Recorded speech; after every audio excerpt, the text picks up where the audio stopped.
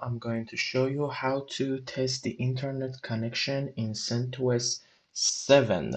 Uh, first of all, when you log in and enter the password, uh, when you're in the root area, we want to uh, install the Python uh, for this uh, installation. We uh, type the uh, this line. And as you can see I have installed already the last ver uh, the latest version.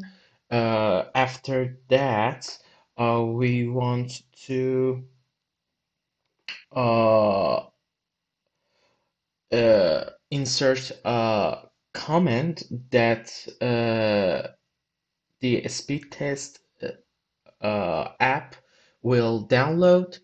Uh, as you can see, we type this comment. Uh, it's now installed. And if you have any uh, issue or errors, in this one, uh, you must uh, install uh, this command which you enable the uh, w uh, get uh, tool. We and and as you can see, it's already installed and the latest version is on.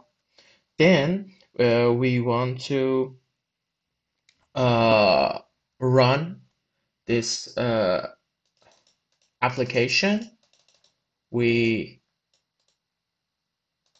type this command, then we type the app which you want to uh, run this app when we're here. As you can see it's testing the download speed. Download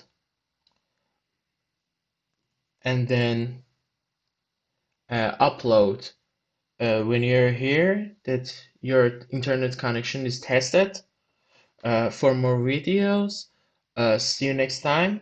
Please subscribe and like our uh, videos.